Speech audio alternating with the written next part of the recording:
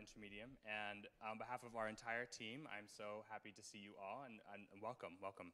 Um, tonight, we are going to have, thank you, thank you, yes, thank you. Tonight, we have Myra Melford's Fire and Water. Myra, yes. sure, sure.